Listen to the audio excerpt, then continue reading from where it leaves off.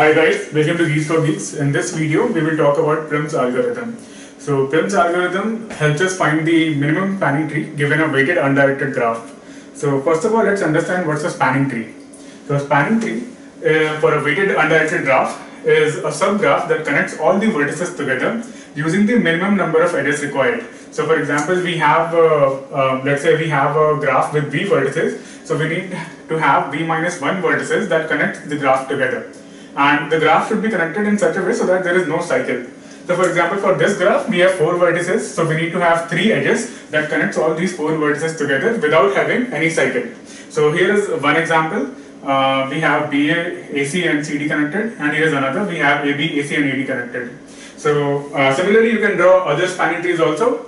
And uh, so we can have many spanning trees uh, for this given graph. And uh, each of those spanning trees is going to have a cost. So we calculate the cost of a spanning tree by adding up the cost, the weights of the edges of that spanning tree. So for example, this spanning tree has uh, a total cost of 50 plus 30 plus 10 equals 90.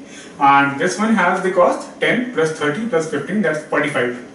So similarly, we can uh, draw other spanning trees also and see what is the uh, cost of each of those spanning trees and then uh, pick the minimum spanning tree. However, uh, this method uh, in the worst case has a time complexity that's worse than exponential and uh, Prim's algorithm does actually better than that. So let's let's first see how Prim's algorithm works. So Prim's algorithm uh, maintains an MST set where it keeps track of the vertices that are included in our uh, minimum spanning tree. And at every step of this algorithm, uh, it uh, picks the minimum cost edge that uh, connects the vertices in the MST set with the vertices that are not yet included in the MST set.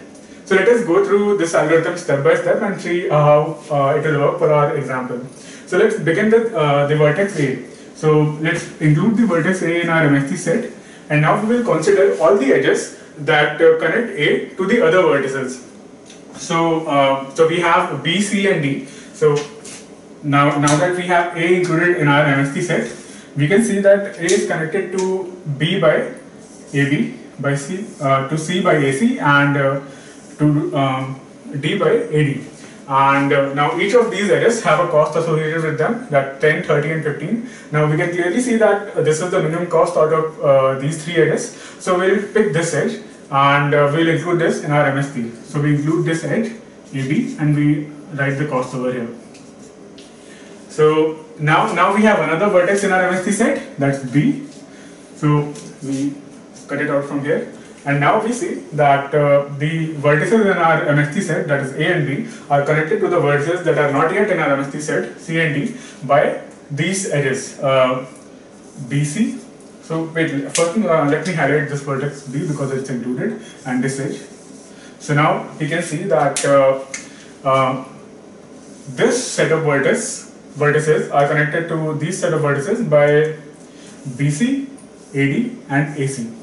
And now we want to pick up another edge that has the least cost. So we can see that uh, the AD has the least cost. So we include AD and we write the cost over here. So now uh, we have also included vertex D in our MST set. And now our MST set includes three vertices, these three and now we see that uh, our MST set is connected to the other vertex by three edges BC, AC and DC. And now we want to pick up the least cost edge. So out of these three, the least cost edge is this one. So we write it down. We are including AC and the cost is 30. So now we have all the vertices here. Now we have all uh, the vertices included over there and uh, we have an MST that, that looks like this and the cost of the MST is 55. So uh, the cost of our MST is 55 and uh, this is the uh, minimum spanning tree given by the Prim's algorithm. So that will be all for now. We have discussed an overview of Prim's algorithm and what we discussed was we basically maintain two sets in the Prim's algorithm where one set contains the set of vertices which have been included in MST and the other set contains the set of vertices which are yet to be included. And what we were doing at every step, we were considering all edges which connect these two sets and we were taking the minimum weight edge out of these edges and we were picking up as a part of MST. So now how do we implement it? How do we actually program it? So uh, which data structure we use? So if you take uh, if you take a look at this algorithm, what are the operations that we perform? We basically uh, every in every step we consider the minimum weight edge. So if you if if if you if you try to guess which data structure you would use, as you might have guessed, the data structure that we use is priority queue, which is typically implemented using binary heap to extract the minimum, right? The, the, the operation that we do is extract minimum. So uh, how? So let's let's take a look at the complete algorithm. We have we create an array parent, which is actually used to represent our output, which is the minimum spanning tree. We represent our output as a parent array, where in tree we have every vertex and corresponding to its parent stored in an array. So uh, and then we create a min heap of size v. So that's how a, a min heap looks like. And we all, if you remember, we always start Prim's algorithm with some starting point that can be any vertex in the graph. So here we've taken a vertex as a starting point. So what we do is we assign key value 0 to it, infinite to all the other vertices. Key value to all the other vertices is assigned as infinite. And we, we make parent of every vertex as null. So for convenience, we have drawn this binary heap this way so that we can demonstrate this algorithm easily, right? So uh, once we have this binary heap and once we have initial values in this binary heap, we run a loop which runs till this binary heap doesn't become empty. So uh, in this loop, what we do is we extract minimum, right? So uh, here the minimum key value is 0 we always extract the vertex from which we picked as a starting point so in this case we pick a and once we have extracted a vertex we go through every adjacent of it and for uh, so let's let's talk about the adjacent b so we uh, we consider this first we compare its key value with this edge value so this key value is more so we update this key value to 10. And when we update the key value, we also update the parent. So parent of B is A. Now we go through the next adjacent and we repeat the same process. Its current key value is infinite. This edge value is 20. 20 is less than infinite. So we update it to 20. And we also make parent of C as A. So what we have basically done, we went through every adjacent, we compared its current key value with the edge value weight and if the key value was more, we updated key value and we also updated the parent when we were updating the key value. But there is one more condition that uh, the adjacent should be in heap. If, if we have extracted a node out of the heap, we should not be considering this uh, these two operations for that. So uh, so A, A is something we extracted, so it's not there in heap. Now we repeat the loop and again we extract minimum. So out of these four, we have minimum as B, so we extract out of the heap and this is included in MST. Now we go through all adjacent of B adjacent of B are C and D. We compare their current key values with the edge weights. So for D, we compare its current key value which is infinite with 5. 5 is less, so we update. We make B as parent of D. For C, the next adjacent of B, we compare its current key value which is 20 with 30 so 20 is less, so we don't update the key value because this 30 is more. So we, have gone through all adjacent of B. So we come back here, we extract minimum again. This time we extract D. So D is now included in our MST set.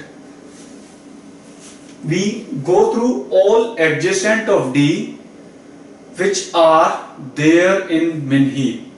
So we uh, please remember uh, in the previous steps also, although it was not mentioned, we go through only those adjacent which are there in min heap. So for D, the adjacent are E and C and both are there in min heap. So we consider both of them. So we go through E first. Current, uh, current key value of E is infinite and this edge weight is 8. So we reduce from infinite to 8. We make parent of E as D and then we go to next adjacent. So next adjacent is C. Its current key value is 20 and this edge is 15. So we update this value from 20 to 15 and we update the parent also from A to D. Right, so we, we have gone through all adjacent of D. We again repeat the same process. We extract minimum and this time minimum is E out of heap included in MST set. We go through all adjacent of E which are there in heap. So there is only one adjacent which is there in heap. So adjacent is C and we compare its current key value with this edge weight. Current key value is 15 and current and this edge weight is 6. So we update from 15 to 6. We also update parent of C from D to E. Uh, we again come back here, we repeat the process, we extract C this time. And there are no adjacent of C which are there in heap because C is the only node left in heap now. So we don't run this loop and uh, we actually run this loop but we don't go inside the if condition. And since the C is last node so our heap becomes empty we stop our algorithm here. Let's see what do we get as an output. So our output is actually parent array. So our parent array is output array. Let's see how this parent array helps in uh, constructing MST so let's take a look at this parent array and let's see the graph. So for A there is no parent it's nil. So A is root of our MST for B parent is A. So this edge is part of MST for C parent is E. So this edge is part of MST for D parent is B So this is this edge is part of our MST. For E, parent is D. So this edge is part of our MST. So MST is these edges and weight of this MST is 10 plus 5 plus 8 plus 6 which is 29. Let us analyze time complexity of this algorithm. Uh, so main operation that we do in this algorithm are, are these two loops, the outer while loop and inner for loop. So and, and inside these loops we have main two operations, extract minimum and then we update key. So these two operations are basically performed on binary heap or priority queue. So extract minimum on a binary heap takes big O of log v time where v is the number of vertices or number of items in binary heap and this operation update this also takes big O of log v time. So how many times this thing runs? you can easily guess this runs big O of v times because you have all the vertices in the in the binary heap initially and you extract them one by one. So this the time complexity of this step is actually v into big O of log v and time complexity of this particular step can be evaluated if we know how many times this loop runs. So can you guess how many times this loop runs? This actually runs for every adjacent of all vertices. So if we sum them up, what do we get? It's actually proportional to the number of edges in graph. You know, if you have e edges, then you are going to have two e entries in all the adjacent in adjacency list, right? So, uh, so this is actually big O of e into big O of e into log v. So total time complexity of this algorithm is big O of v plus e log v. And when we are talking about this time complexity, we basically assume that we are using binary heap. If we use Fibonacci heap, we can reduce this time complexity. For Fibonacci heap, extract minimum is log v, but we can perform decrease key operation or update key operation in big O of one time. So for if we are using Fibonacci heap for implementation, we get time complexity is as v log v plus e.